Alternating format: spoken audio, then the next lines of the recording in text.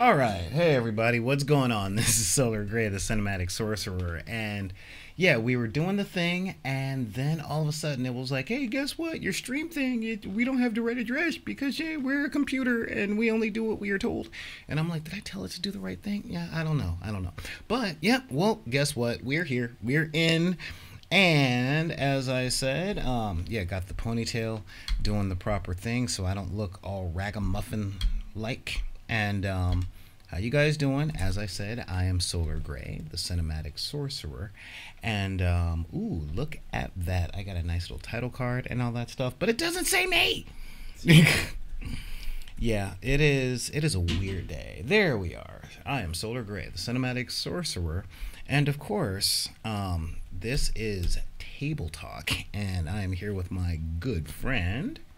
D.W. McCann? Yeah, your uh, camera's I mean, right over there. There's a camera around here somewhere. Yeah, yeah. Where would it be? yeah, yep, yep, yep, yep, yep. It, it is now. If you guys are wondering, today is a weird day. Weird, weird, weird day. Um, you know, we got D.W. McCann down here at the Wizards Tower, and he brought the boyo. So there is a baby in the Wizards Tower, and there hasn't been one of those here for a long, long time. You know, and I gotta say, man, you know, I met the boyo outside, and I, I will definitely say, um, you don't need a DNA test because you really don't. That is, that is your kid. Like, you know, it's funny because I remember when you met my kid, mm-hmm. and um, this was God, you know, um, 19, 19, 19 and a half years ago.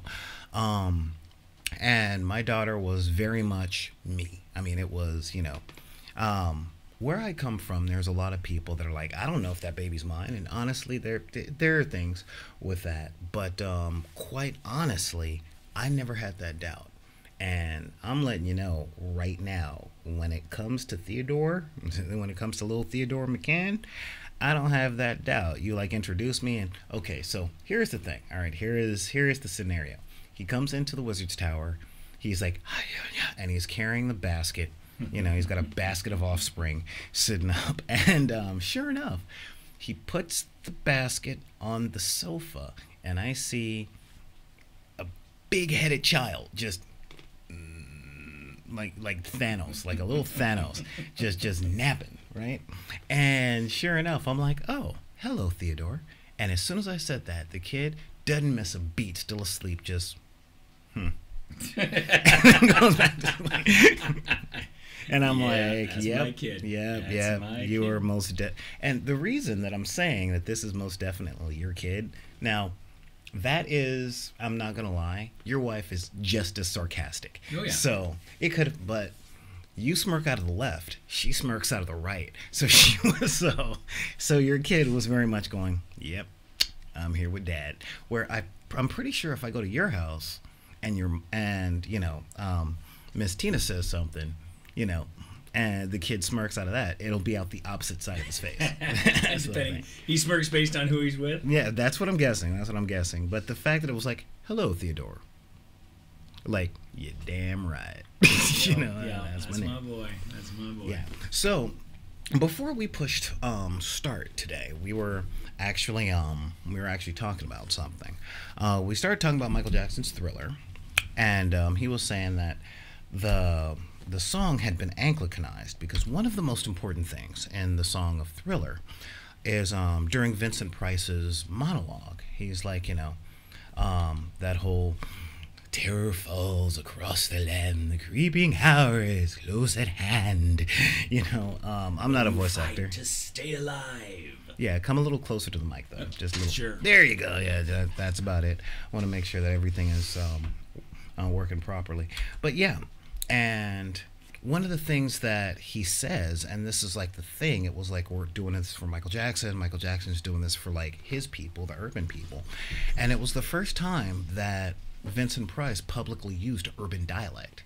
Because it was like, you know, something, something, something ood to terrorize y'all's neighborhoods. And it was like, did he just say y'all? I, I, I want to say he said your.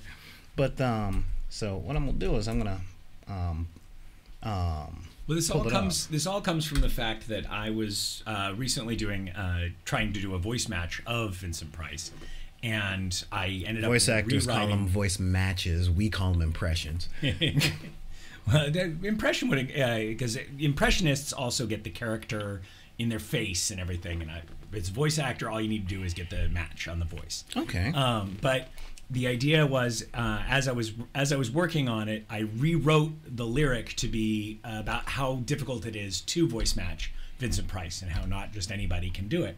Um, and uh, I posted it on my Instagram, and I was talking about it, and he mentioned the the y'all part, and when I pulled the lyrics, I don't remember it saying y'all. I remember it saying your. So it's interesting if it's if it's y'all's in the uh, recording that somebody has Anglicanized it in the uh, in the um, uh, translation of it or the the uh, dictation of it. The well, you know, wording Illuminati. Okay. Well, now let's let's let's take a look here. That's gonna. Darkness falls across the land. The midnight hour is close at hand. Creatures crawl in search of blood. There it is. There it is. Right there. right there. Yeah, yeah. To terrorize y'all's, not your. To terrorize your neighborhood. No, Vincent. Um, we're talking to the South, and we're talking to Detroit. Oh, fantastic to terrorize y'all's neighborhood. I'm sorry, I can't get any more Negro than that. yeah, but yeah, I gotta say, man, that that was yeah, and it was, you know, it was one of those things that was um, it, it was one of those things that was like revolutionary. It was. I could pull up a thing um, to talk about like the song itself. There's a great video about the Thriller album and specifically that song. But um, honestly, why would anybody tune into our channel to watch the channels that we like? I well, true, but I also it's a topic that I, I thought you were going to say that it didn't fit with our topics, and I'm like, actually, I think that that it is seeped well into the culture, oh, the geek culture, that particular bit, which is again, this the whole conversation actually began with a conversation about the dance from Thriller versus the dance from Beat It. Yeah, see, I was asking like if Thriller was yeah. groundbreaking, has seeped into so much, but Beat It hasn't had that same. I mean, it's fantastic. It's yeah. it's was a, a wonderful uh, hit for Michael Jackson, but it hasn't done the crossovers as much as Thriller has. Well, it's true because it's not based around a neighborhood or anything, or on a, well, on a holiday. Yeah, rather, it's not based on a holiday. But um, I was just, you know, just amusing, just musing. Like, you know, I see Thriller flash mobs, and I was going through, you know, that wretched hive of scum and villainy that is Facebook, and I saw a video of like a bunch of full body cosplayers that look like Power Ranger villains doing the thriller dance at a con, and I'm like, you know, I'm seeing all these thriller flash mobs. Why not he beat it once? You know, I want to see him do that. Hey. But you can see that every theater you go see West Side Story at. Yeah. Like you're already getting that experience. we, we did it. We did it for uh, the first year they brought back the Halloween event at Universal Studios. Okay. I was there, and they the first set you went into was a whole bunch of undead movie people. So there was like were, each section had only about six people to it, and the first one you came across had an undead director, an undead actress, an undead grip, an undead you know they had a, a film set, and they actually had a, cra- a camera on a crane as part of their area. But since it was the first one you experienced, as the gates opened, we would all go to the front gate and interact with everybody. So you have all of the people haunting Halloween Horror Nights mm-hmm. at the front gate, and we're waiting for the gates to open, and we all started joking around and we ended up lining up and doing the thriller dance for everybody who was about to come in. See, I honestly think it would have been more awesome had you started doing the beat it thing. You know, had like the zombie grip, um, get a hold of like the vampire lady and start doing the knife fight thing with your hands tied together. You know, but that's just me. I don't know. I'm not that. It would have been great, but yeah. it doesn't have the same connection to the people who were there for horror as Thriller does. It's true, it's true. But you know, I'm really not that funny. I'm really not. I try. I, I was actually writing some stand up the other day because um, my little hobbit has gotten into watching Downton Abbey, and okay. I've learned a lot about British culture, hmm. specifically. Um, that the poor British need a lot of, um, well, they need a lot of reassurance, and the rich British are cowards. That that's just like the aristocracy are cowards. Because every time you're sitting up and you talk to somebody from Liverpool, they're like, "Oh no, we're going for lunch, aren't we? Yeah, look at that. That's a thing over there, isn't it? Isn't it? Isn't it? Aren't you? Isn't it? Aren't you?" Every every single paragraph ends with asking if they said what they said or if you are what you are. It's like, yeah, look at that. Uh, I'm not going to say over there, isn't it? Isn't it? Yeah, yeah. That, that, the tire's flat over there, isn't it? Isn't it? You're to need a tow, aren't you? Aren't you? Yeah. Going out for lunch, ain't you? You know? But the aristocracy, right? They're afraid of everything. Everything. They're like, oh, I couldn't go over there, I'm afraid. oh, no, no, no. It's raining outside, I'm afraid. Oh, yes, yes. No, the door's open, I'm afraid. Oh, I'm I'm afraid the silverware needs polishing. I, yes, I, I can't eat from that. I'm afraid. I, I, I do enjoy that. I, I, I really do en- enjoy speaking with you. I'm afraid. I, I, I'm afraid that I can't continue to speak with you because I enjoy it so much. I'm afraid that I'm afraid. Yeah, I, I'm afraid that I've just been arranging matches, and the matches are arranged. I'm afraid. You know, and I'm just kind of going, all right, that's fine. Um, and you know what? I don't care if you guys don't like my jokes. Somebody thinks I'm funny. I mean, seriously. Ah, sound and all that stuff. But yeah, I mean, seriously, it's I, I just have these weird observations, and again, I like the idea. I, I really do like the idea of doing um doing more Beat It flash mobs, just because. Well, I'm not gonna say I like the song as much. I just want to see the dance a little more. You know, that's the thing. I'd rather see if they can do a flash mob Mm-hmm. of uh, black or white, and just have a whole bunch of people We can't do to that much morph into each CGI. other. In Grand Central Station, everybody live morphing. Have you noticed that we started with a good Michael Jackson song and we're just going further and further down in quality? exactly, exactly. So, all right, but we got a lot of stuff to talk about. But first, I want to thank you for showing up here today, um, because I know, I know how far away from this tower you live. That's a long drive, and um, It was so- made interesting with the rain. yeah, you know, I got up this morning. Um, I got up this morning, and I'm like, my alarm went off at its normal time, and I pushed snooze, not knowing how tired I was. And then I got up again, and I'm like, uh, you know how you get up in the morning or you wake up, and if you're anything like me, the first thing you do is you look at the window. Look at the window to see how high up in the sky the sun actually is. So you can be like, well, it only looks like 7:30, so I, I still have a few more minutes. You We've know. done ourselves a favor of our windows are covered. Well, yeah, and- because you there are have times I've had now. to sleep during the day. yeah, exactly. I mean, before before even the baby, there were times that I'd work all night when I was doing a lot of the haunt stuff. True. I my shift would begin at 8 p.m. and I'd work clear to 3 a.m. Or back when I used to work at um, for Disney grad nights, uh, those you left the, the premises at 6 a.m. to go home. yeah, yeah, and So that there a lot of that is definitely a slept during thing. the day, and uh, so I like the bedroom dark, and so we have uh, blackout curtains on the thing. Gotcha. So th- and they very rarely Got like aluminum foil on the thing. There is like on one of them because uh, they, even the blackout curtains, the sun hits a spot during the day and just shines right into the room through the, um, you know, like you can tell in the blackout curtain. Mm-hmm. So yeah, there's aluminum foil in that spot. Yeah, and in truth, like you know, I I use the sun because I, I got a big tree outside the bedroom window, and I'm like, okay, judging by the sunlight, it is, I have about another ten minutes to sleep if I felt like sleeping. I believe I will use that ten minutes. But I looked up and I'm like, okay, man, it's it's. Wait a second. My alarm was set for an hour ago. If it's, I wonder if the rain is coming. Then I looked at the clock and I'm like, ten thirty. Jeez, up. and so I walked outside and I'm like, it is eerily dark. Like it's one of those. A storm cloud was literally like, oh, I felt like Charlie Brown, just a storm cloud over my house, and Just a little black rain cloud hovering under the honey tree. yeah, exactly. And um, and my neighbor came out, and I'm like, oh, hi, breathtaking blonde. Is it just me, or is it like eerily dark out there? And she's like, oh yeah, it's supposed to rain today, and I'm like, okay, sure.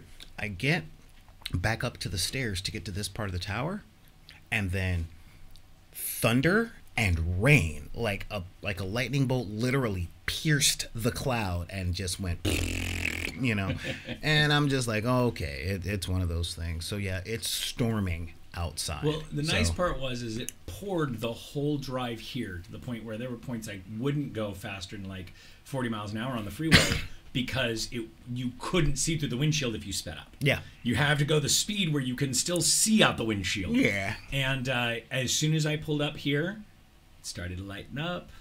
Got light enough that I was able to get the boy out, and, and now it sounds like it's gone right back to it. Yes, yes, yes. That's a little bit of stuff. You know, I'm I'm doing experiments with sound things Uh-huh. because um, there's a certain amount of of sound clips that you can use Mm-hmm. on all of these videos before you get flagged or silenced or all that stuff. So I'm kind of going.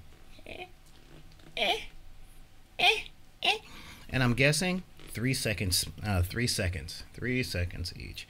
But, you know, I'm glad you were able to make it through the rain, sleet, hail, and storm. But on the upside, storms like this, great for new parents. Really great.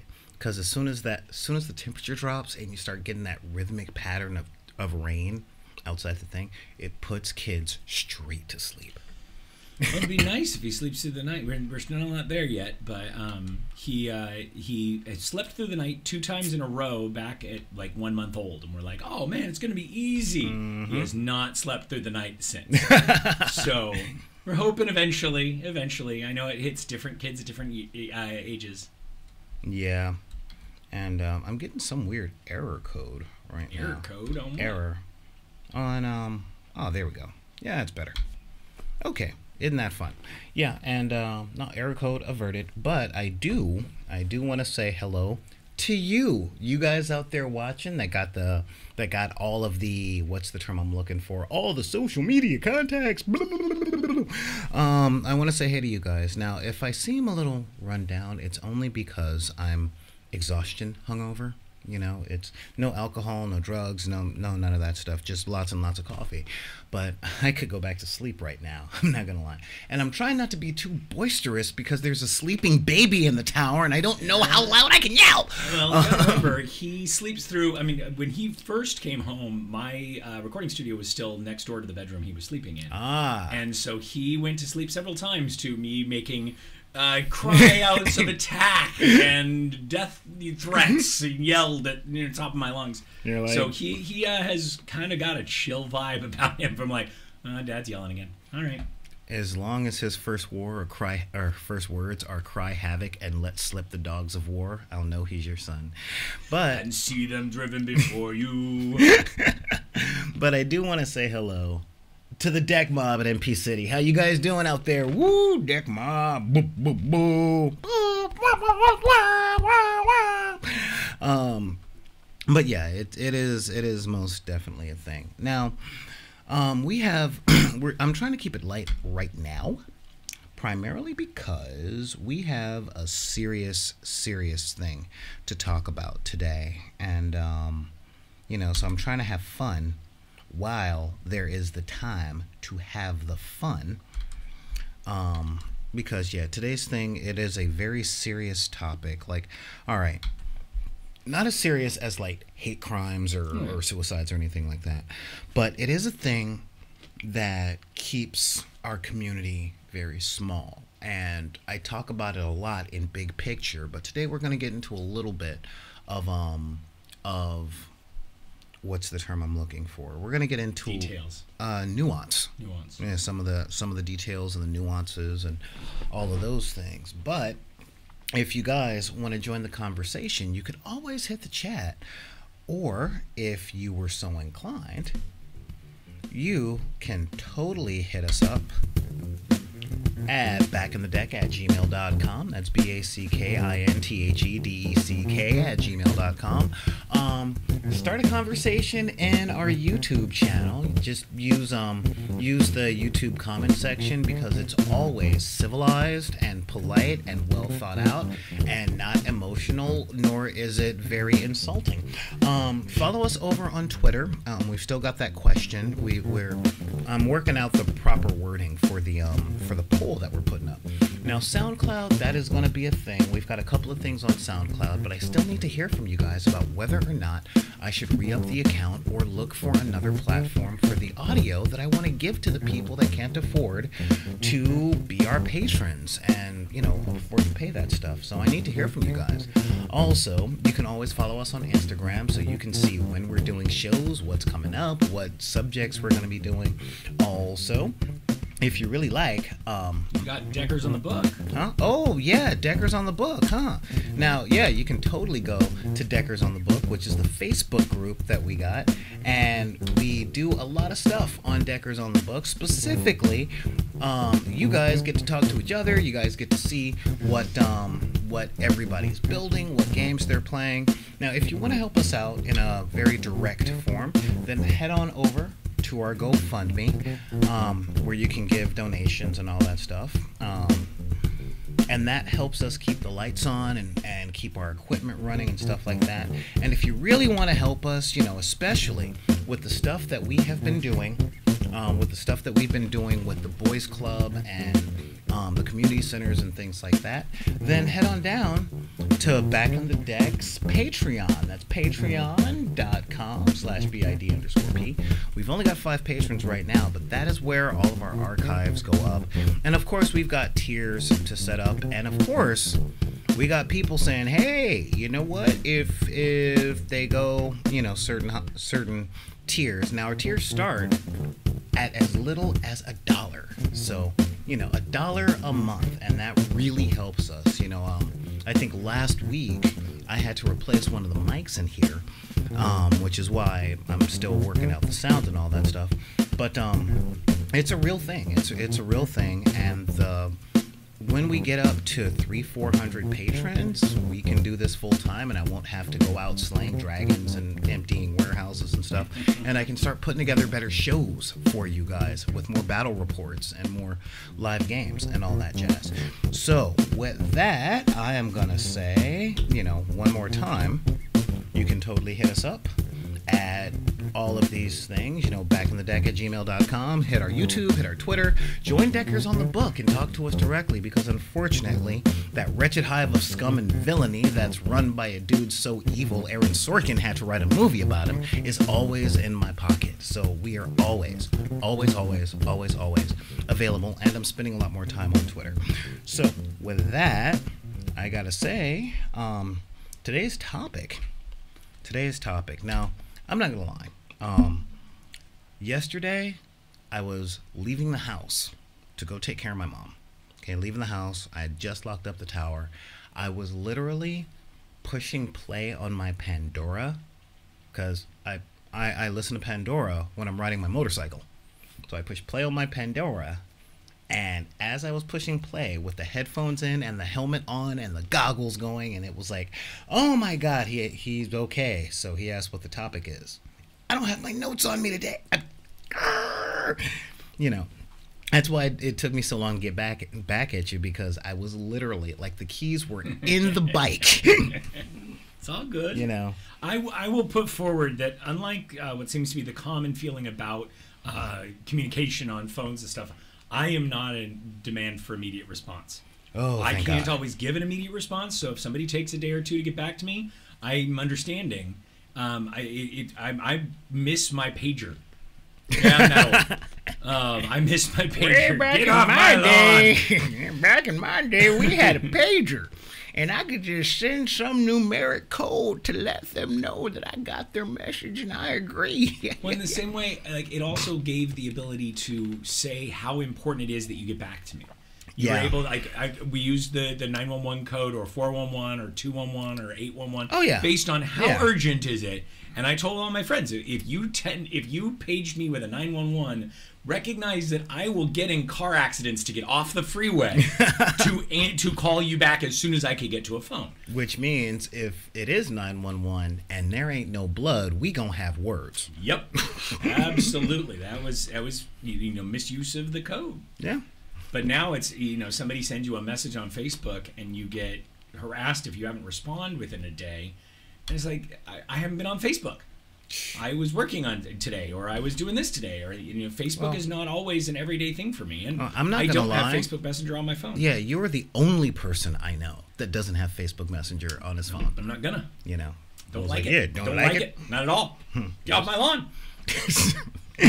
But um, today's today's thing is um, it's a real thing. Now we talk about why we're here a lot. Okay, we talk about like we're here for the people of color, the women, the P- the you know um, LGBT, um, oh L- LGBTQ. I don't know the rest of the letters put in order, but I also can't recite King Lear, which is English words put in order. But you you guys know we're we're we're there, and um, you know the disabled and the poor. Being a poor person of color, hey, I'm intersectional. Um, you know there are certain things that I've experienced that a lot of my co-hosts have only mildly experienced in the to the point where they can write it off as an odd happening. It's like you know those things are just that group of people. And one of the things I, I want to talk about is how the franchised, the, the people who are franchised, when you are the status quo, you don't recognize the people that aren't status quo and what they go through. Because there's there's a lot of that happening right now where the people are going, whoa, hey, hey. Um, that's normal for you. Like for you, one person, uh, or you have one bad interaction out of every 15. But for me, I have one good interaction out of every 11. You know, and so you have a 14 to 1 good. I have a 1 to 10. Um, I have a 1 to 10 good. You know, and that's the case for a lot of people. But, you know, we can talk about the fact that this exists all day. What I want to do in in today's show is actually talk about the hows. Like what are the particulars? Um, and of course, we're going to start off by talking about gatekeeping. Okay, a whole lot of subtle gatekeeping because it happens on different levels to different demographics. And I want to start since we are the get off my lawn crew. A lot of the type of gatekeeping that happens from I guess you can say advanced or way more experienced gamers to the new guys. You know, um, last Sunday I had a wonderful experience teaching a few people how to play, um, helping to teach a few people how to play Pathfinder and how to play role playing games. Now, one person had come over. Um, they had played D and D about 20 years ago, and they played like two sessions, and then they went into the the video game RPGs. Like um, he specifically went to Never Rest. I mean EverQuest, and um, Ever crack is the one I remember it called. Yeah, yeah, and um, and he was asking a lot of questions, and I'm like, I I, I help teach people how to do tabletop RPG from the video game stance, and I had to explain to him, one, you're a person living a life, and two. You know all the stuff that you're supposed to do online with people in between raids if they weren't monsters? and he's like, "What? Whatever do you mean?" I'm like, "Conversations, um, planning stuff, like going on small adventures, you know, things like that with with strangers." they have a little bit of that within those types of uh, MMOs of the flavor text on the quests. Yes. But a lot of people just click, click, click, click, click, click, click. Okay, I'm supposed to go get wolf teeth. Whereas some people will read why this guy is asking for wolf teeth. And, Oh, yeah. And know the whole backstory of, oh, he's talking about a, a gnoll in the area. I bet you I know which gnoll it is. And it becomes a more rich story for those people that Right. want a story. Yeah. But that people who just want to go out and kill wolves until they get enough teeth, which I still don't understand why you have to kill 15 wolves to get 12 wolf teeth. That is less than a wolf a tooth. Like, I mean, well, a tooth a wolf. Like, Well, you have to get a specific one of But their. still, then you should. There were still three that apparently don't have that tooth. Well, you might not actually pull it out properly, or you might crack it. You know, I mean, it. I I can justify all day. I, I will tell you that my backstory for my character is dentistry, so he is clearly able to remove these teeth functionally and correctly. I just say bring the whole head and let them pull the teeth. But um, that that's just. I don't me. know which one you wanted, but here. Yeah, exactly. Have the head. I, I brought in the whole mandible, dude. I just, uh, I, it's in there. Heck, I didn't know if the ta- if the tooth is in his foot, so here's the whole wolf. Yeah, But at the same time, I am also that dude that when the girlfriend says, "Could you bring me that thing out of my purse?" I'm like, "No, here's your purse."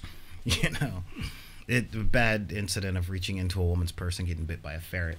Um, the story is longer than that, but um, he was asking a lot of questions at the table like mm-hmm. can he can he? Is it allowed? Can he can he? And i'm like yeah again you're a person living a life and you get the chance to do all and i'm just walking him through everything. And he's like well i feel bad for asking so many questions. And i paused and i looked at the table and i'm like quick question.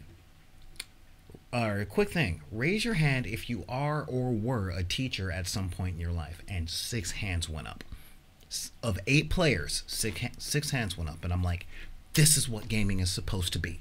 This is it. Now i was gaming with the intersectional tabletop group um, which is one of the facebook groups i'm in run by one of actually run by the dude that you're replacing on this show. That was captain steve. Um, and yeah it was it was great. But then that got me realizing a lot of the stuff that now we were playing Pathfinder, and I was noticing I I'm looking at and I'm researching the divide between Pathfinder and Dungeons and Dragons 5th edition. You know, because there seems like a lot of Pathfinder players are like, no, no, it's too simplified. I do, no, I don't, it's new and it's different, and I don't like things that are different. Uh, I don't understand that. I like both. Yeah. I've had fun games in both. But you you you know the types. Of, I mean, I'm I sure do, you've seen. I do, but I mean, I, I've known that from every game that you can play. There's always somebody who's like, I hate that game. There are a couple of games I'm that way about. There are a couple of games I will never play because I've looked at it and gone, that is. I, I was never uh, big. I've gotten more about it since, but I was never big on a lot of the miniature stuff Mm-hmm. because there were so many rules. Mm-hmm. Or uh, most of the mech games. Okay. A lot of the mech games, the RPGs, it was roll to see if your gun fires. Roll to see if it hits. roll to see where you hit. Roll to see whether the armor was damaged. Roll to see whether any dam- uh, like electronic function. There were 18 rolls for each shot. Yeah. And that, that's And- not as entertaining for me, but some people love that. See, I, I'm I'm like I'm like a C across the board. I really am because I don't really love any one aspect of gaming. I like it all.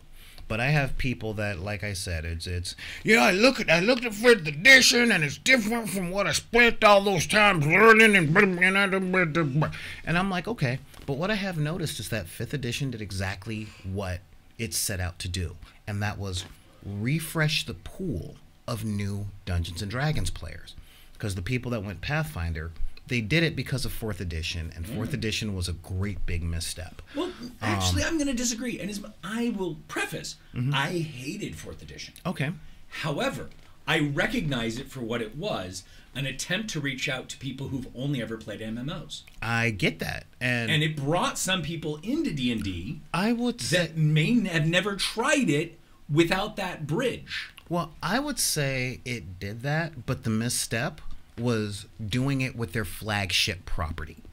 So you Okay. would you would have recommended them creating a secondary game Yes. that used all that. Absolutely. I think I would have put forward. I think they just should have made a class or two that function that way, so that that mm-hmm. person can play with other people who want to play, and you're still within the same world. And that person gets to hit one, hit one, hit one, hit one, then hit two, then hit one, then hit one, then hit one, then hit three, then five, and then hit one, then hit one. Like, which is what four was. Fourth Yeah. edition was that. yeah, and But it would allow the people who want to be more inventive to still be inventive alongside somebody who just wants to button mash. Well, you know, I I would be with you on the character class thing, but 3.5 needed cleaning up.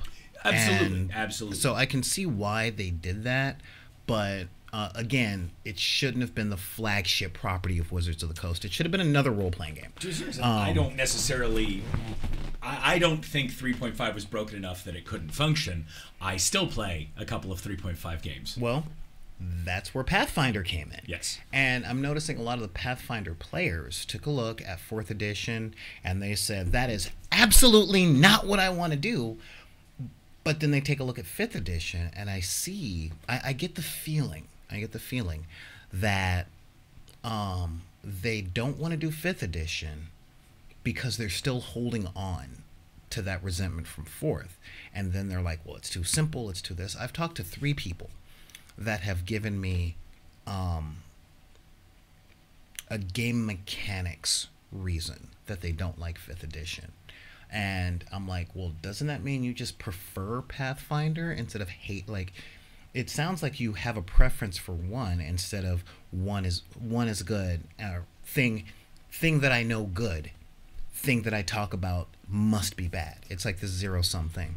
I, I, I want to bring up one thing just just to Mm-hmm. remind you that we live in a world where if your first smartphone was an Apple, then everything Android is evil. And if your first smartphone was Android, everything Apple was evil. and see that's where we get into that gatekeeping you know because um being the wizard that i am i always ask why and i look at the nuances and there are a lot of games out there that are different from pathfinder and a lot of stuff that we used to play for one major reason it's not that they're not complicated mm-hmm. because rpgs are complicated if you want to follow the rules of the game.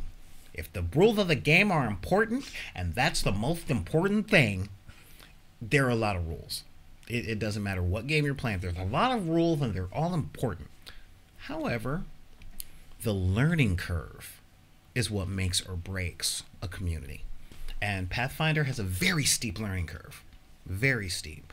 And um, Dungeons and Dragons 5th edition, Vampire the Masquerade, um, most Steve Jackson games, other than GURPS, have a very have very shallow learning like the curve. Fantasy Flight uh, was middle ground. Yeah, Fantasy Flight was the solid middle ground between the two. Um, but yeah, There's, there's complicated stuff you can go into. Oh, yeah. And then there's really basic. If you just want to play this style and just let it run its course, just do it. Yeah, yeah. Um, and there are some people that are like, you know, I like games that are this flavor and everything else is terrible. It's all Apple. Urgh. And I'm just kind of going, do you guys see how you're gatekeeping right now? You guys are saying the thing that you've spent the past 15 years becoming amazing at is what you prefer. But when you bring in new people, they're already nervous. They don't know what's going on. So I used to call it because back in my days of working at a game store, I worked with a lot of tournament players in the sense of everything had to be efficient and you don't play a game unless you're looking to crush your opponent. Well, yeah, I had a similar feeling when I started out with Magic the Gathering. I played Mm-hmm. against three people who were tournament players, and the game needs to end in two turns. If it goes to a third turn, then I've my deck is not working properly. Yeah. and I really enjoy the eighth turn bringing out of Leviathan or Yeah. something like that. You know, that's that that was more fun for me. Well, one of my thing was I had a hard time learning tactics because I would just get beat down until I learned how to not get beat down anymore. And I'm like, all I'm asking you to do is to show me how what you're doing, like walk me through the steps. Well, if you can't figure it out, you shouldn't play. And I'm like, okay, way to close off the gate. And um, one of the things I've noticed, remember when we were at um, Comic Con this year, and I asked that question how do you address players that are afraid of getting things wrong? And I was coming at it from the standpoint of a lot of new players need to be less nervous.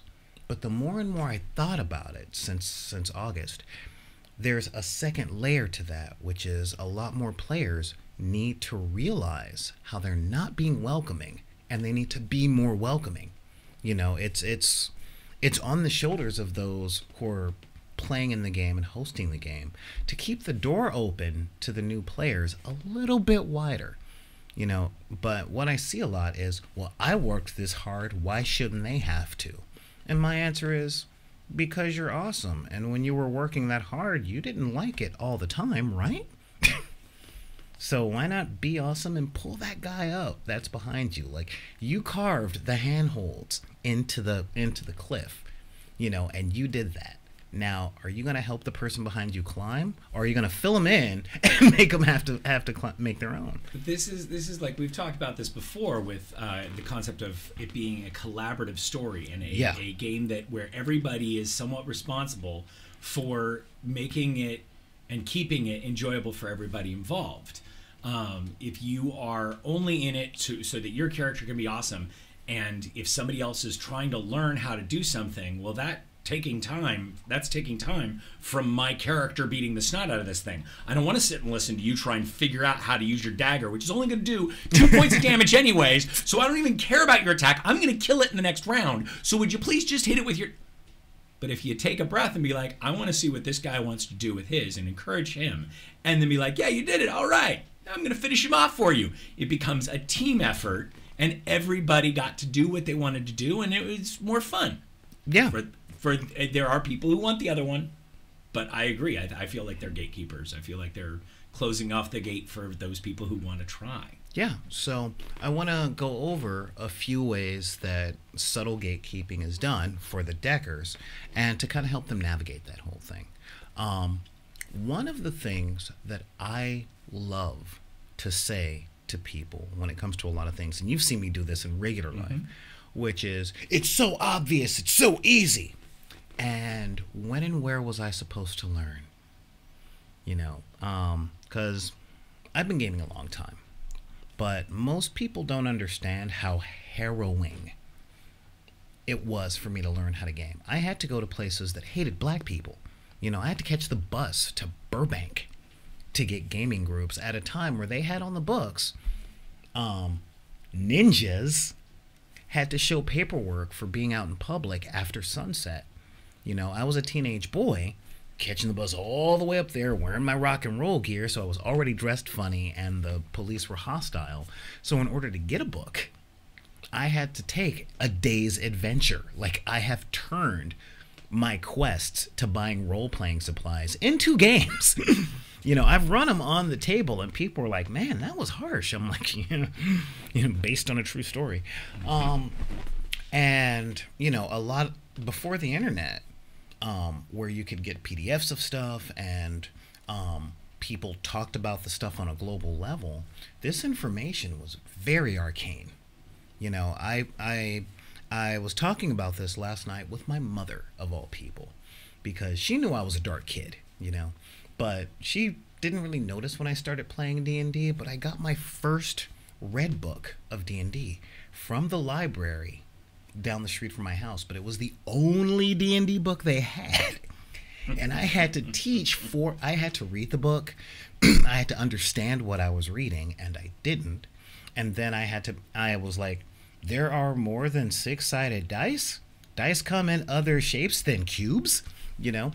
And um, so I had to go through all that, sorry, in order to learn and i see a lot of new i see a lot of people talking to the new gamers like well the information's out there so you should know before you come talk to me. And it's like do they know what questions to ask? You know? Or do they just absorb by osmosis your awesomeness of gaming? Well, and I also feel like that answer is not taking into consideration one of my one of my biggest complaints with a lot of the um, series as they get expansions is the fact like okay I want to put a mod on my weapon. All right, where's a list of mods? Well, in this book on this page, there's a list of six mods, and in this book on this ah. page, there's five more, and in this book on this page, I don't own those two books. Oh, well then you can't have those mods. Why? They're still out there. so I need to. There's not one source. Like when they when they release an expansion, they don't include the stuff from the first book. So you end up, and I get it. I get the marketing aspect. They want you to buy all the books but in that in that vein there's no easy way other than buying the computer program that allows you to pull a drop down menu and then look at all the mods that are possible. And that's today. Yeah. You know back in the 90s No when computer. America well when America Online was the best that we had we had to yeah. Yeah um we actually had to do quite a bit of things um to get that information. But now the information is public. But when the information is out there um you have to ask yourself the question of what que- what am I looking up now? You know i I like I said, I was talking about this with my mom last night because I brought up role playing, and she brought it up in a therapeutic sense, and I'm like, you really don't know what I do for a living. Okay, so I pulled up the YouTubes, and I pulled up a what is role playing video. And we're going to be producing one of those probably later on today because um, it took a while to actually find one that would answer the question to my mom. And I think about my mom when I put together these things a lot because she didn't grow up role playing. She grew up in the inner city in the 1950s. And there's a whole bunch of stuff that she just don't know. She's an incredibly smart woman, but there's been so much information that has been withheld from her mm-hmm. she doesn't know what questions to ask, and there's a lot of regular life that's been closed off to her and still is. And at 65, you know, 65 and, and waning health, those heroic quests that the young go on, she just don't have it in her. So I'm like, all right, so how can I do this in a way that my mom would understand it, you know? And I showed her all that stuff, and then I explained to her what satanic panic was back in the Oh, back in the 80s, yeah, yeah. and how her mother thought I was possessed by a demon when she found my my Werewolf the Apocalypse book, and um, yeah, yeah, and I'm like, what no, was the, the tracked uh, Hmm? the this the, the, the little uh, comics that went out about how evil they were? They Oh, yeah, yeah. what? They- Yeah, oh, God. something tracked. Yeah, uh, I I I know the books you're talking oh, about. man, I can't remember the name of them. But yeah, they and they're amazing. My favorite are the ones for Halloween and New Year's. You killed my wizard, so I must now kill you. Yes, and- Nobody. no. Yeah, no. No, I mean, don't I get me maybe wrong. it's out there. Maybe it's out there, but not not the standard. Yeah, exactly. Don't judge the standard by a fringe case. A- but if you do, pick the good fringe case. you know, hello, police officers. Every black person is like Barack Obama. Everyone. you know, instead of you know Easy E. So you know, they're looking they're looking for Easy E, and I'm like, no, I'm more like Obama. You know, my kids are like Obama. You know, uh, um, but yeah, I'm just saying if you're if you're gonna pick a French case, pick the good French. You know, just pick the good French, and we'll have a better world. But with the gatekeeping thing, um, a lot of people don't realize that that's what they're doing. So again, when you're feeling like you're being gate kept, it's like, okay, hang on a minute. Where was I supposed to learn that thing that you say I should automatically know?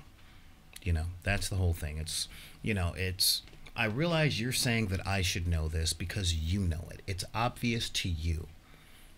Pause for half a moment and ask, why should it be obvious to me, the new guy? I'm the new guy. I just got here. They don't teach D&D in college. It's not an election. It's not an elective. Should be. But, um, interesting. I would major in in RPGs. Yes, major in tabletop RPGs. You know, specifically. Why limit? Um, because no. if you're doing um MMORPGs You can do an or emphasis. In, in other words, Yeah. you do. It's like I have a degree in theater with an emphasis in musical theater and Shakespeare. Okay, all right. Uh, RPGs with an emphasis in tabletop. well, I would say, excuse me, major in creative writing with an emphasis in tabletop RPGs. I, the only reason why I would think on that is is that the creative writing aspect. uh, I guess storytelling to an extent, um, it seems very DM related, not just player related. Oh, really? Not that it w- not that it's not used, but having taken creative writing courses, Mm-hmm. They're a little bit more than you need to RP. You don't um, need it. I, I I would agree with that. I'm just thinking like, you know, being the film guy, I studied Michael Mann. And Michael Mann has this thing with his actors where it's like, this is your character. Where did they grow up? What are their favorite shoes? What is the first time they went out with their brothers and sisters and what were they wearing and what kind of ice cream did they like? And they end up having to write a biography of a character that has 14 lines in a movie. And I'm just kind of going, yes. Well, in that same sense, you can do that with uh, improv. Yeah. So improv, I would I would probably lean more on the improv side for just the player. I would The say that I agree. story- the creative writing for more the GM. I would say that I agree, and that it's important to put it all in writing. Yeah, true, true. See what I did there? You see- You guys, yeah, you improv people, you you you you would say that, yeah. But um, so yeah, and um, but you know, with that, I would also say I'm trying to keep us. I'm trying to keep us on target. know, we know, we wander so much, um, but yeah. So that whole um now there's a second part okay and that is the subtle pressure subtle pressure of internal expectations um i was talking to one of my players from one of the games and they listen to a lot of podcasts oh wait having a moment here yeah um they listen to a lot of podcasts i'm just making sure that um okay there we go Ooh, look at that and play Error 2000. Yes. All right. This um, old time radio program was originally aired live, long before the advent of high fidelity. As a result, you may, you may detect an occasional surface noise or volume drop, so common to old radios. Unfortunately. Okay, so we're going to do a thing real quick because we lost the transmission, but at the same time, um, yeah, we're having a little transmission problem because probably because of the storm. So I'm going to Ah, I hadn't considered that. stop streaming and restart.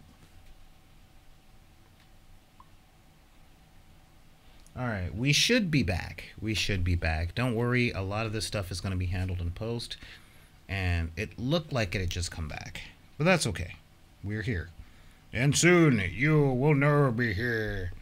Um, yeah, there we go. We're back now. We're back. At least. Dread Pirate Roberts takes no Oh, survivors. um, he's here for your souls. Um, so what was I talking about? Oh yeah, the internal pressure, um, the subtle pressure of internal expectation. Okay, that is there we go. That is a real thing. But what is that? Well, like I was saying, I was talking to um, one of my players in one of the games that I have coming up, and they listen to a lot of podcasts, sometimes a lot of live play podcast, and they are afraid of being that player who's ditzy and doesn't know the rules. And I'm like, okay, well, here's the thing.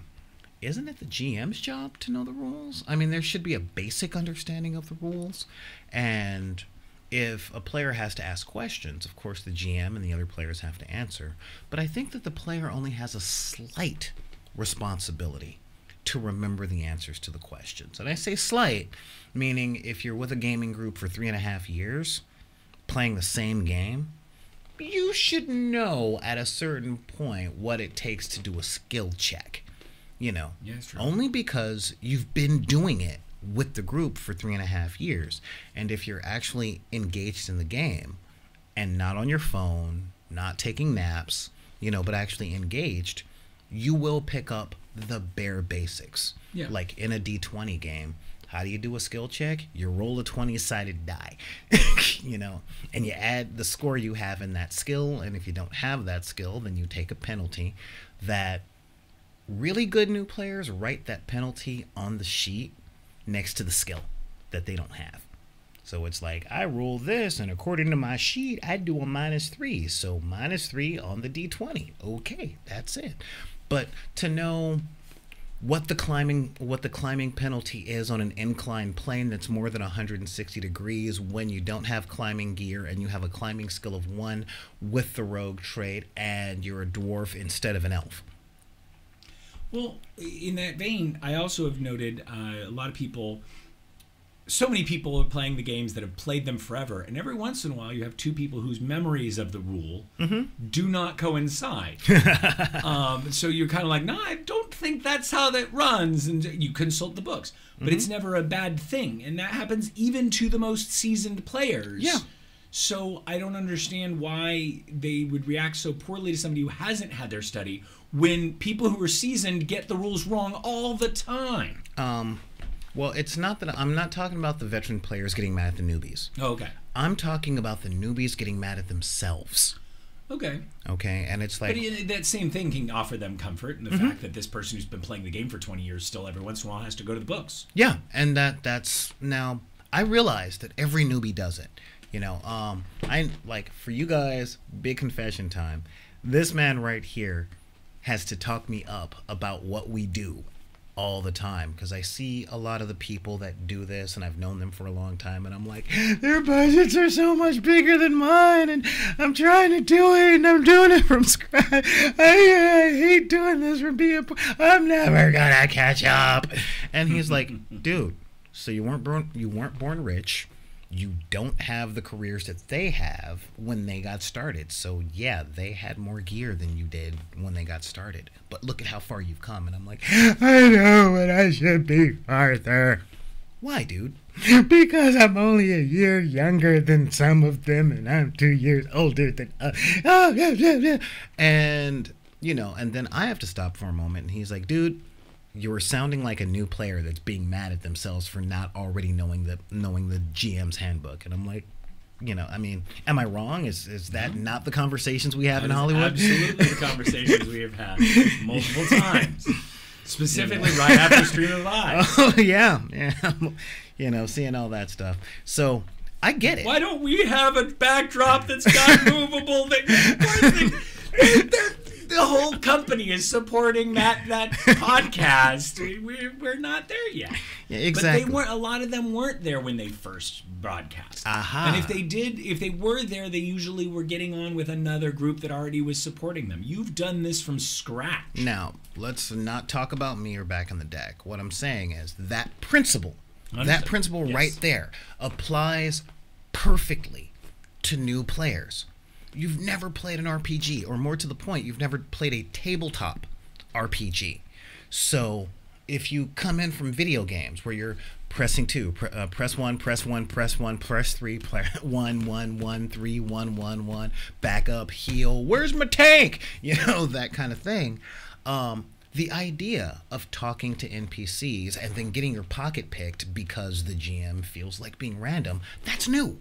That's you. The idea of trying not to be a murder hobo because your charisma ratings actually mean something. That's new. And shifting that gear is a skill that requires instruction or acquisition, instruction, and practice. You know? And um but a lot of a lot of players are stuck really trying not to be stereotypes. You know, I yeah. don't I don't want to be the black dude that didn't read the book. You know, I don't want to be the ditzy girl who doesn't know the rules and keeps going, "What?" You know, um, they don't want to be these stereotypes, but they get so wrapped up in that. I'll, I'll put the other poser, the the, uh, the other uh, stereotype. I don't want to be a poser who is viewed as not actually being a true gamer. Ah, that whole concept of true gamer. Yeah, and that'll take us back to the that that's going to take us back to the whole gatekeeping thing. But um, but I think, you know, what that ends up doing, speaking of that gatekeeping, is that keeps the new player from walking through like that builds the gate for the player. While the other players are going no come in and they're like i'll be in in a minute. I just got to build this barrier between you and me that that consists of my own insecurities. And you know being an older gamer that's like no no put that down put that down. No no walls. You don't need a wall between you and you are welcome here. You're welcome and i don't expect you to already know. You know i don't know I think I know where that idea came from because I remember in school, my teachers, I had a few bad teachers, and they would always ask me, What do you mean you don't know? did, did you have that? I did, but I I really adhered more to the uh, teachers that are like, there are no dumb questions. Okay. Ask your questions because, and one of the things that was put forward in a lot of them, especially in my math classes, is if you asked your question, there are at least two more people in this classroom who were thinking the same thing and didn't have the guts to ask. So be the one who had the guts to ask. Boom. you know. No. I bet when you were talking about that one guy who was asking you all the questions, and you asked who, who here is a teacher. I bet if you had asked that group how many people were wondering the same thing, you might have seen a couple hands. Um, so every question that he had, he may not be the only person with that question. On that one, no, because of the eight people at the table, there were only two new gamers, and everyone else, if they weren't veterans of Pathfinder, they were veterans of the White Wolf properties. So and the question There's that still one other new gamer who might have been thinking that same question. Mm-hmm. And you'd be surprised even somebody who's a White Wolf person not knowing Pathfinder might have the same question. Of, That's- how's that's this true. work in that world? That's true. Because it is different, and you know, game system to game system is different. Like if you only knew uh, White Wolf, if you only knew old WoD Ah. 1.0, if you only knew WoD 1.0, your statement would be dice come in something other than ten sided. Well, no, I wouldn't go that far because everyone, no matter where you come from, has seen craps and Monopoly because all of the all of the Target games come don't I, I think there's some people who specifically go out of their way to avoid Monopoly. they know there's Yeah. a boot and a boat and like you know a top hat that They even in a kindergarten game, backgammon has six sided dice. Like you can't. Backgammon is not a kindergarten game. That is No. a complicated game. Um, yeah, but for some reason it's in every kindergarten. I don't know Is it why. really? Yeah. I haven't been in I think it's because- I I think I've think been in it's- my kindergarten. That's it. I I think it was because I think it's literally because of the little checker looking things. Oh, okay. Okay. So, um, but yeah, but everybody, everybody in the in Western civilization knows the six sided die. Everybody does. I'm just kidding. But yeah, yeah, yeah, I get what you're saying. That's all. But yeah, so um, but when it comes to that, it's you know these are the subtle ways that people who don't mean to be gatekeepers mm-hmm. keep the gates, and how other people that don't mean to be gatekeepers build their own to keep themselves out. And this is one of the reasons that session zero is so important. Session zero is the session where nobody's playing, but you're um, building characters. You're going over rules. You're asking all the questions in the world, just all the questions, and that is specifically what that thing is. What that is set up for. Um, and with the advent of this WeberNet thing, session zero can happen anytime. anytime you can be like, "Hey, what you doing?" or "You up?" Dice emoji. Dice emoji zero. Oh, you need a that session background zero. into my DMs. huh? Said slip that background into my DMs. Exactly, exactly. Matter of fact, I think I think we should start using that, Deckers. You know, for session zero, you up, dice emoji, with the with the number zero. So no, yeah, no more coo, no more eggplants. It's you up, dice emoji. Who wants a session zero? Oh yeah, you know. Oh, Yep, and That's a- that's yep. call. So He's with up. that, um, we're gonna lose him for just a moment because Daddy calls. yep, there we go. so yeah, um, so I want to know what a lot of you guys think in regards to that. Are we okay? Good. We're still we're still going, still going. Um, so yeah, I know today we seem a little wandery, wandery, wandery, but it's new dad and exhausted wizard. Um, but you know, I um I, I think about a lot of this stuff um quite often um when it comes to the new players. Okay, I am all about new players. And if you guys are experienced players out there, this is what I want you guys to consider. Okay? I want you to consider how you would teach your granddad or your grandma, whichever one is still living, how would you teach them how to role play with you? You know, if they were sitting at the table, would they feel like part of the gang or would they feel like they're being made fun of? And that is the number one, the number one, A1 question to really ask when it comes to how you're doing experiences at the table. Um, if you don't have your grandparents, then think about your kids, you know, because learning how to role play is really easy. Everybody can play pretend. Everybody can. The difficulty comes from, um, well, the real difficulty in role playing comes from learning the system. Okay? Learning the system, which consists of lore and mechanics. Okay, um, I, I tend to run like one of the games that you guys know I run, which is In Nomine, which is happening this Sunday. And the lore of In Nomine is pretty simple if you're an occultist or if you have seen movies like Prophecy and things like that. The lore is not very complicated. The gaming system sounds complicated because as it's written in the book, it's very difficult to understand, you know.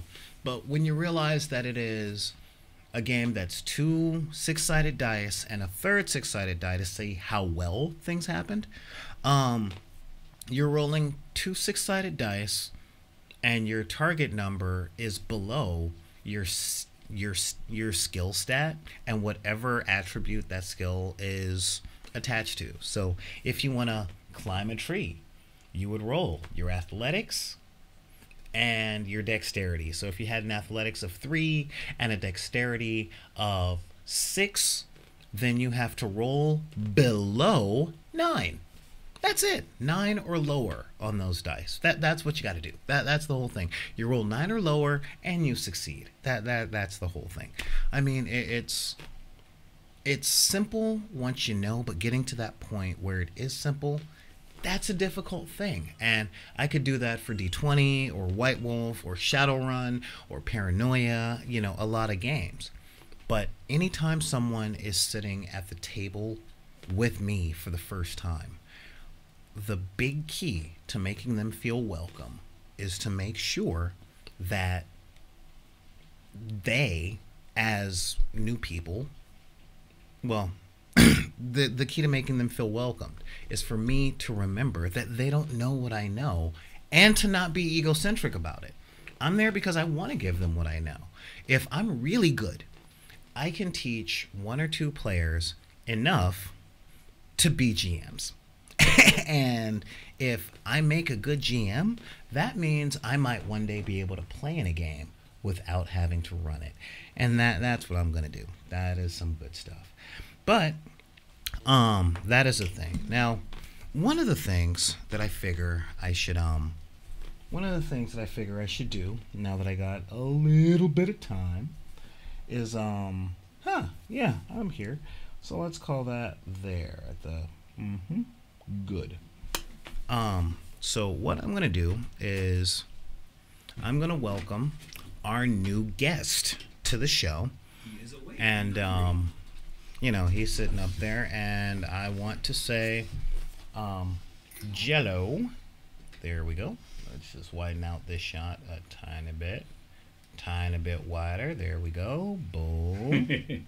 Boom. What? If you're bringing him on, I'm putting him to work. I'm, I'm, I'm Southern. figuring he is. I'm figuring he is. You know, I'm I'm I'm Southern, so. He's working double rate though. Hmm? He's working double rate. Oh, okay. Well, I could say something, but I don't want to get knifed by your wife. Um, there we are. All right. So yeah, I'm gonna welcome our new guest, um, Deckers in Peace City. Say what's going on to Theo or to Theodore McCann. Hey, there's the boyo. Yep, he's sitting up there. There he is. Yep, and he is he's here eating. And again, um, one of the new gamers that we're talking about. Um, so yeah, as I was as I was saying to the people while you were tending to the boy, um, you know, it's it's the new player's job, not just the GM, but the but the new people at the table, to ask themselves the question: If I was teaching this to my parents or to my grandparents, how would I teach it to them, and would I be treating them like this? Fair enough. You That's know. a good question. Um, now, truth, okay, some people would be like, "Yeah, no, I would totally treat my dad like that. I don't like that guy." But you know what I'm Pick talking somebody about. you like. Yeah, it- it's definitely part of the caveat. Is is Yeah. do you like the person we're talking about? Yeah, exactly. Exactly. By the way, he is huge. he is just he is huge. Yes, he is. He's got that head. Big old head. He's that that kid's got a lot on his mind. I mean, look at this guy. yeah, He's totally. Not a small boy. Yep, and he's waving. So, so yeah. Um, oh, that's the thing. Um, I'm really trying not to think like a TV executive right now. So, but yeah. So I mean that those are sort of the things. Now, when it comes to those things, again, the golden rules of RPG is one, you can't lose. There's no way to lose an RPG. Yeah, even if you, because I guess well, I've always looked at it from a standpoint of at the end of this, I want to have a story, Mm-hmm. and if my guy dies, I still have a story, usually a pretty darn epic one of how my guy died, and so it, it always ends for me in what I was hoping for. Well, yeah, that's because you're a bard. um, I don't mean the characters that he plays. He is a bard, as I am a wizard. So everything is a story and a song. Everything is a story. you know, Like when danger turned it reared its ugly head. you know. So. Robin turned his tail and fled. and then he fed his son upon the cameras that he sits. Um, and again, um, like I said, we're we're you know, golden rule number one: you cannot lose. You can't lose an RPG. Number two, the only way that you can do it wrong is to be so afraid of doing it that you don't get around to doing it. So doing it Yeah. wrong generally means not doing it at all. Well, So- and, and to a certain extent, if you've got a goal in mind of what you want to do, you've got to try something to work towards that. Mm-hmm. Try something, and then if it doesn't work, then it doesn't work, and you'll try something else the next time. Mm-hmm. But you know, give it a shot. Yeah. Especially with all the roles and stuff like that, there are many characters where I'm like, okay, this character is going to be this way. This character is going to do this kind of thing. And then I roll, and oh no, my numbers aren't good enough to do that. okay, so what would this character do? Because he's not so good at picking locks yet, he's gonna try and pull the door off its hinges. Yeah. Oh, look, my strength is good enough for that. You know, you got to keep trying and, and come up with different ways. Yeah. Now, what I do notice is that that is a good thing to say because one of the things I notice a lot is a lot of players have an idea of what their characters should be able to do, although they're just learning. So it's like, um, I want to make a Jedi that can do blah blah blah blah blah blah, and it's like, dude, you can have a Jedi that's still in the academy because that's the level of play we're at. Well, what about Force Blast? You might be able to learn it eventually. Well, I should totally be able to. Should you? You know? It's always an interesting thing when somebody comes up with a character concept that uh, I, I recognize we're all starting out at level zero, but my character is actually a reincarnation of this dragon that used to live. And it's like, okay, no. No, you're going to be a level zero like everybody else. I just hand them a copy of Terry Pratchett's Small Gods. You're a god, but you're a turtle. This big. So, yeah, you can totally. And you can only be heard by true believers in you. Well, I go to the temple. Okay. Nobody can hear me, but they should be. I said true believers in Yeah. you. Yeah, Not in the religion. Not just generally. you know they have to have real faith you know but that that's a totally different thing um, but with that um, i do have to say that the boyo is a fantastic alarm system because that's pretty much our time for the day Yeah, it is. so He knew it. He knew yeah it. he's like all right dad it's time hey. to go I've, I've, I've slept long enough. I'm ready to have my bottle. yeah get my bottle and then yeah we got to do the thing again i can't get over he is enormous like Yeah, he's, he's this not baby even is like two months he's feet long Wearing, he's not even six months and he's already wearing uh, nine month clothes. yeah yeah which And he's more than two feet long. Oh my God! So, so you know what that means? You got to start getting wily, because when he's thirteen or fourteen, he's gonna be like, "I'm tired of you, old man," and it's like, "Boy, I don't want to have." Hey, how's it going? There he is. He's he's yeah. He's looking at me. Yeah. He's And- already reaching yep, for the mic. there you go. There's a great picture of you. You want to see a great picture of my son at a microphone on my Instagram. Okay. Yeah, there you yelling go. at a microphone with me. How's it going, Theo? Door. Theodore. He was fine. Yeah. He was fine. Oh, he likes all of it. Theo, Ted, Teddy. I will call you Theodore until you tell me what else to, to tell you. Don't worry, I actually do speak baby. Yeah, I do. Matter of fact, yeah, that's the thing. Um, but yeah, so um, with that though, uh, do you have anything to say to the audience um, while I get everything prepped? Uh, just thank you very much for tuning in. Uh, feel free to, to check us out. You've already gotten all his information on uh, the Instagrams, the Twitters, the, all of those, and you can also follow me on Bardic underscore DW uh, on Twitter or uh, dw.bidp on Instagram, or uh, pretty much those those are the two best ways to, to reach out to me. So if you guys are you wanted to chat about anything we've talked about, or want to make suggestions for topics we can talk about later, or if you have suggestions for uh, actually, I'll put this out there. If anybody wants to share with me the story of the first time they helped their child game, a friend of mine has just started with his uh, his adopted son- gaming, and uh, it's interesting watching an old time gamer try and coach his son through that. So uh, I, I'm curious for more stories. If you have more stories, feel free to share them with me. Well, that's good. And of course, we've got um, the star of a different show that's coming up soon. Yeah, say hi to the guy. All right, there we go. Yeah, let me guess. You found out that there was a baby here and you had to come out of your cage. Get back in your cage. Okay, but yeah, it's one of those things. So, um, thank you for showing up. Thank you for, you know, bringing the special guest star who can take over the show because that's what they do. Um, Next generation of gamers. Yep, yep, yep. And again, we're here for them and for you. So thank you for showing up. um, and I'm gonna say eh, you you need to get out of here. I need to pull up everything. All right, fine.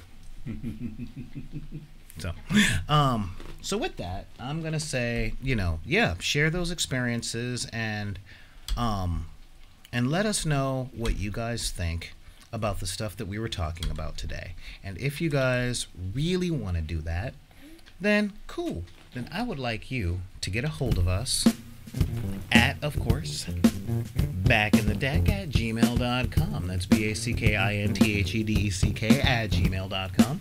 Um, check us out on YouTube. You know, oh, wait up. Look at the baby. Okay, cool. Um, and um, seriously, hit us up on Twitter because I'm still I still need to know from you guys if I should do the SoundCloud investment so that you guys can download the stuff for free and give it to people in in the form of sound and all that stuff. And uh, what are you looking at?